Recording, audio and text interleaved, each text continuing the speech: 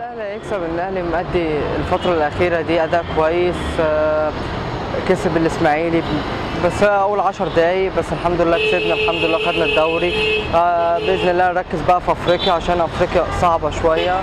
فيا مسهل الحال تتوقع النتيجة كام كام ومين هيجيب الاجوال؟ آه، بإذن الله هتبقى 3-0 وليد سليمان رامي ربيعة وممكن عمرو جون انطور جون انطور شكرا. الاهلي واثق الماتش هيبقى صعب شوية بس إن شاء الله يعني ربنا يكرمنا يعني ونكسب إن شاء الله بامرك انت يا رب. تتوقع النتيجه تبقى كام كام؟ كام كام؟ يعني ممكن 2 2 0 أو 1 0 للأهلي على حسب يعني.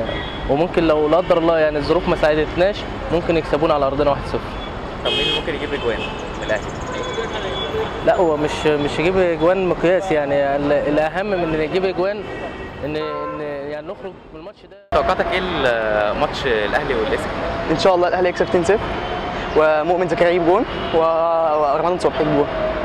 شكرا. طب آه، توقعاتك إيه الماتش الأهلي إن والاسك؟ شاء الله هنكسب وهنصعد بأمر الله.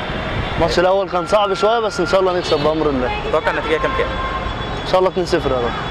مين ممكن يجي- يدخل اجوان؟ أي حد بس نكسب إن شاء الله. شكرا. آه، شكرا. محمد وسام توقعاتك ماتش الأهلي واسك النهارده هيبقى كام؟ إن شاء الله 2 1 مين آه، ممكن يدخل اجوان؟ مؤمن زكريا وعماد متعب